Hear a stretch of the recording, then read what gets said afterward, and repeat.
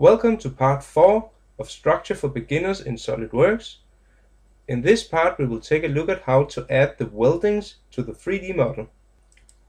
In order to see the weldings in the 3D model there is some basic settings that needs to be set. Go to System Options, Document Properties, Detailing and check Welds select OK. Now go to View and click Weld Beads. Now when the weldings are added, they will be displayed in the 3D model. To add a welding, go to Weld Bead. Under Settings,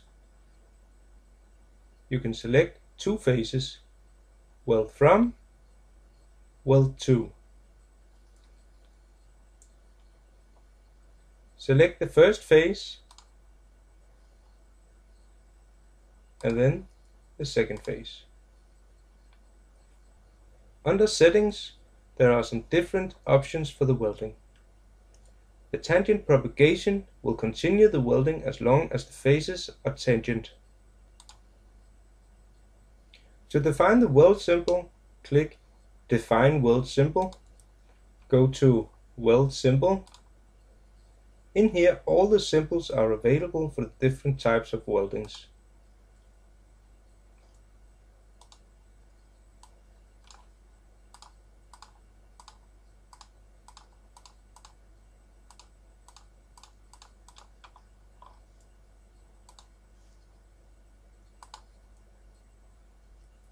Now because there's more than one way to weld profiles together, I will stick to the default symbol in this exercise.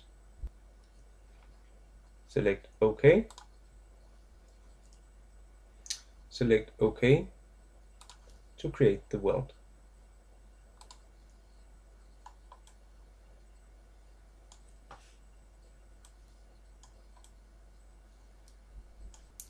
Now let's add a weld to the other side go into weld bead. Instead of selecting the two faces, we will use the Smart Weld selection tool.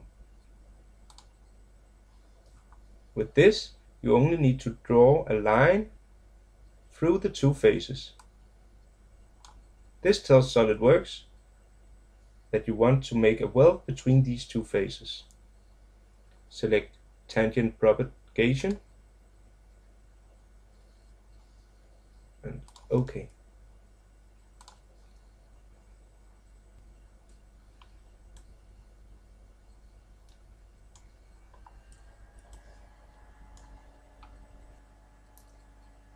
Now let's add a weld to the support beam.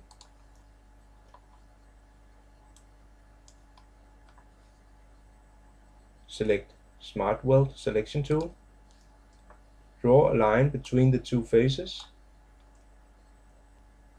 Now in this case I can choose tangent propagation and it will make a welding all around but I can also choose the all around feature and the result will be the same.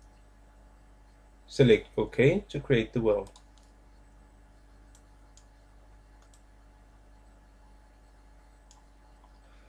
If you want to display the welding symbols go to View, All Annotations, and the welding symbol will appear in the 3D model.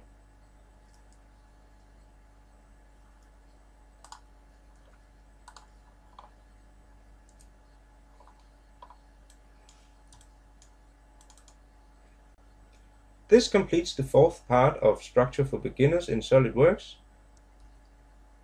In part 5 we will take a look at how to create a 2D drawing of the structure and adding the cut list to the drawing. Thank you for watching.